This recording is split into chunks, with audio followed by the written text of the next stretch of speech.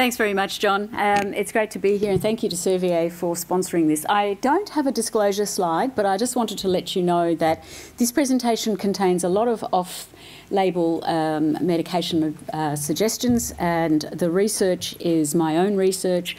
Uh, Servier have had nothing to do with the slides or any other bits, and um, the references are attached at the end.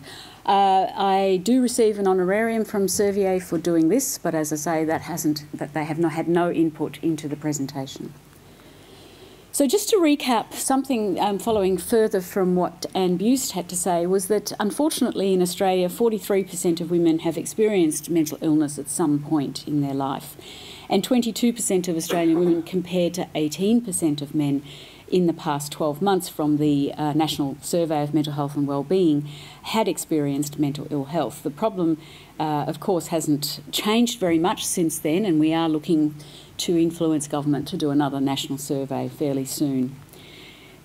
When we look at what happens for women, um, or in terms of mental health or mental illnesses, we do find that in fact women are much more susceptible to such things as having uh, twice as likely incidence of developing depression, uh, twice to even more uh, incidence of anxiety disorders, anorexia, bulimia, three times more common, two times uh, more likely to attempt suicide, and two times more likely to have um, post traumatic stress disorder. The um, sad issues in terms of equality is that women are catching up in terms of alcohol dependence to men, although men clearly are, are dominant in that alcohol dependence problem. The whole impact of this is quite significant, not just in Australia but around the world. And the estimated economic impact of depression and anxiety in women in Australia, in terms of thinking about direct productivity loss, is estimated to be $22 billion per year. So if you add in the further costs of treatments, lost earnings, the uh, loss of effective parenting, divorce, care of the elderly and so on, the, the figure would be even further astronomically high. So you, you know, it's very clear that uh, mental health in women or mental illness in women is gendered, just like physical health is.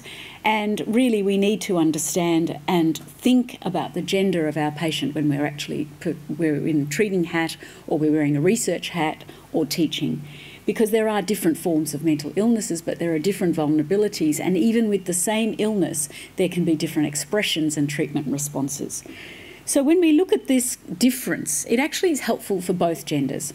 So I'm, I'm never trying to say that women are suffering more than men or, or vice versa. It's actually about the difference. And once we can focus on that, we can actually hopefully provide better outcomes. Why is it that we have a difference? Well, the theories broadly fall into the categories of social theories, biological theories, and psychological theories. When we look at the social aspects of why women develop the illnesses in the way that they do, there are issues that are very clearly different in terms of violence, poverty, gender inequities in wages, power, social roles. They do have a big impact on mental health.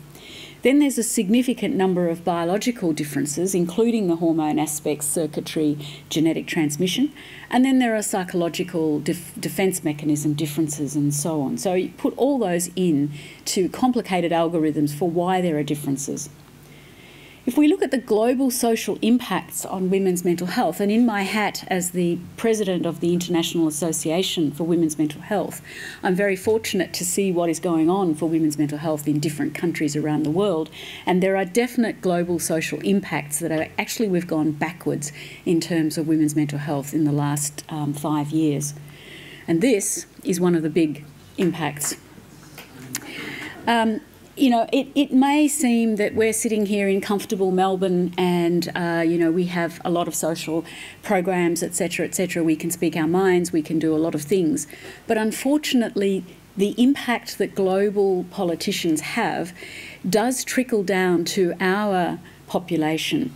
Uh, in another hat, I'm a mentor for young women leaders at Monash University. These are not just medical um, leaders, but leaders from different faculties. And what really upset me is that, in the light of all of this, the number of young women who say they want to go into politics or into uh, uh occupations that would put them front and centre has diminished significantly because of the way the media treats women and because of the global impact and the comments that are made that are very derogatory. So, again, this is an issue that we need to be mindful of for our younger generation who are our future, that we're already losing that battle in terms of the social differences and the power differentials. Um, I was very saddened to um, learned from my Russian colleagues uh, who attended our last Congress um, that, in fact, the domestic violence laws in Russia have changed, uh, and this was only changed in February 2017. That, in fact, the new laws in Russia state that a woman must have greater than or equal to two fractures in different parts of her body in order for the uh, perpetrator to be arrested for a charge of domestic violence, and that it must be in different parts of the body. So, two fractured ribs doesn't make it. So these sorts of issues are really, really significant. The other thing that is of real concern to me is that the three delegates who turned up, one um, of the delegates I've not heard from, even though she was a very regular correspondent with me, uh, she's just disappeared uh, for the last three months and I cannot find where she has gone to. Um, in Ireland, this was our Congress, was in Dublin um, in 2017. And uh, what I learnt, and what we all learnt, and what we all marched down the, the main streets of Dublin about was reproductive rights for Irish women. And this is something that they've had a, a, uh, um, a vote uh, sorry, a uh, referendum, and now that has to go to vote in Parliament. And the referendum was overwhelmingly positive for reproductive rights because mental health rights are connected to reproductive rights. And uh, I learnt all sorts of things that that horrified me because I had thought, yes, Ireland is a republic like um, like we are, and yet there were rules such as a woman of reproductive age, before she could get a passport or travel overseas, had to have a certificate from her GP stating that she was not pregnant. Now that was all about um, trying to prevent um, the woman from getting an abortion overseas, and of course there is a big traffic between London and uh, and Dublin for abortions. So hopefully some of these things might actually change.